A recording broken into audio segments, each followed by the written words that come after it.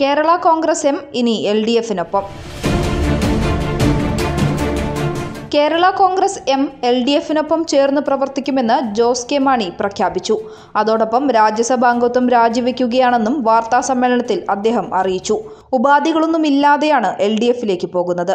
കേരള കോൺഗ്രസിന്റെ നിലപാടാണ് ഇപ്പോൾ അറിയിച്ചതെന്നും മറ്റ് കാര്യങ്ങൾ എൽ ഡി എഫുമായി ആലോചിച്ച് തീരുമാനിക്കുമെന്നും അദ്ദേഹം പറഞ്ഞു.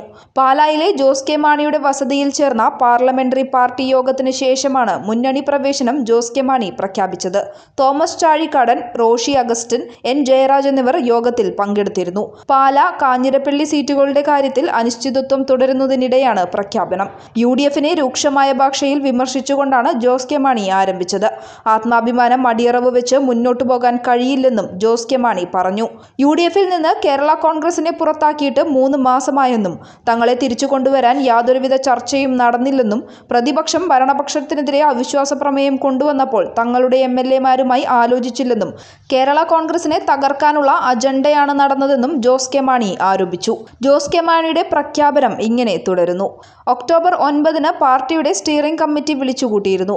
പാർട്ടിയുടെ രാഷ്ട്രീയ നിലപാടിനെക്കുറിച്ച് ചർച്ച ചെയ്തിരുന്നു. ജൂൺ ഇരുപത്തിയൊൻപതിനാണ് യു ഡി എഫിൽ നിന്ന് കേരള കോൺഗ്രസ് എമ്മിനെ പുറത്താക്കിയത്. അന്നു മുതൽ ഇന്ന് വരെ കേരള കോൺഗ്രസ് സ്വതന്ത്ര നിലപാടാണ് എടുത്തത്. കെ എം മാണി സാറാണ് യു ഡി എഫിനെ കെട്ടിപ്പടുത്തത്. ആ പ്രസ്ഥാനത്ത് നിന്ന് കേരള കോൺഗ്രസ് ഇനി അതിൽ തുടരാൻ അർഹതയില്ലെന്നാണ് U D F convenor statement എഴുതി വായിച്ചത്. യു ഡി എഫിന്റെ ഉയർച്ചയിലും താഴ്ചയിലും ഒപ്പം നിന്ന മാണി സാറിന്റെ രാഷ്ട്രീയത്തെയും ജനവിഭാഗത്തെയുമാണ് അവർ അപമാനിച്ചത്. കോൺഗ്രസിലെ ചില കേന്ദ്രങ്ങളിൽ നിന്ന് കടുത്ത അനീതിയാണ് കേരള കോൺഗ്രസ് പാർട്ടി നേരിടേണ്ടി വന്നത്. തങ്ങളുടെ എം എൽ എമാർക്ക് നിയമസഭയ്ക്കകത്ത് നേരിടേണ്ടി വന്ന അപമാനവും അവഗണനയും യു ഡി എഫ് നേതൃത്വത്തോട് പറഞ്ഞപ്പോൾ പോലും യു ഡി എഫ് ഒരു ചർച്ചയ്ക്ക് പോലും തയ്യാറായില്ല. യു ഡി എഫിന്റെ ഭാഗത്തു നിന്നുണ്ടായത് പൊളിറ്റിക്കൽ വോൾച്ചറിസമാണെങ്കിലും താൻ പ്രതികരിച്ചിരുന്നില്ല. കെ എം മണി അസുഖബാധിതനാണ് എന്നറിഞ്ഞ ഉടൻ P J Joseph Lok Sabha seat ആവശ്യപ്പെട്ടു. പാലാ സീറ്റും ചിഹ്നവും ആവശ്യപ്പെട്ടു.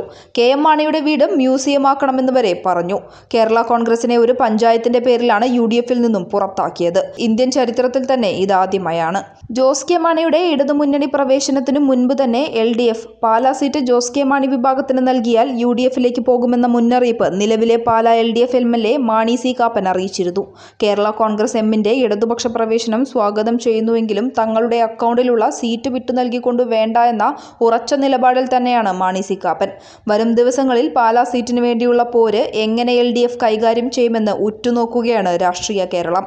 News desk I two I news